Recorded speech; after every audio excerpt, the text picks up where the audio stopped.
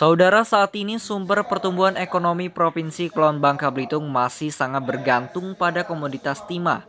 Namun produksi timah di Indonesia dari tahun 2012 hingga 2016 mengalami penurunan hingga 52 persen. Oleh karena itu pemerintah mendorong peluang industri hilirisasi timah guna memberi nilai tambah yang lebih besar. Di sisi lain, sektor pariwisata digadang-gadang menjadi sektor andalan untuk mensejahterakan masyarakat selain timah.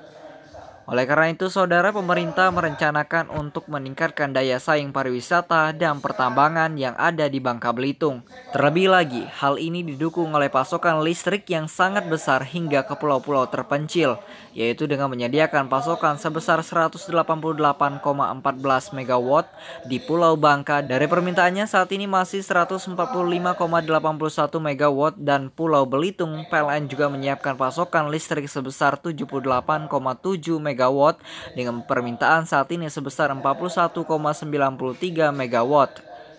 Kepala Dinas Sumber Daya Manusia Provinsi Bangka Belitung Suranto Wibowo mengatakan sektor pertambangan dan pariwisata bisa dikombinasikan untuk menunjang perekonomian namun organisasi perangkat daerah harus siap membackup hal ini sehingga tahu apa saja yang akan dilakukan untuk mengkombinasikan sektor pertambangan dan pariwisata ini. Tidak saja berbicara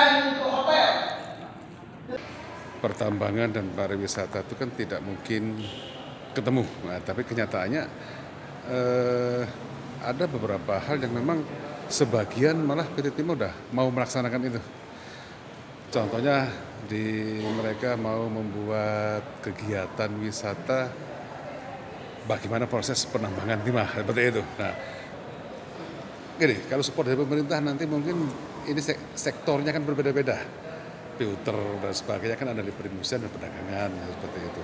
Kemudian di bidang bahan bakunya mungkin ada di kami untuk memberikan bahan baku dan sebagainya. Jadi tidak bisa sendirian. Ya bentuk bentuk harusnya memang dari stakeholder yang ada, UPD UPD yang ada untuk dapat membackup apa yang diingini oleh eh, arah dari kegiatan visi visi Pak Gubernur untuk eh, meningkatkan kepariwisataan di Bangka dalam kurun waktu tujuh tahun terakhir, saudara PLN berhasil meningkatkan rasio elektrifikasi di Bangka Belitung dari mulainya 72,52 persen di tahun 2012. Kini sudah mencapai 100 persen sejak tahun 2016. Sehingga rasio desa berlistrik di Bangka Belitung kini juga sudah mencapai 100 persen. Dari Pangkap Pinang, Jaskianda mewartakan. akan berubah menjadi sangat kuat.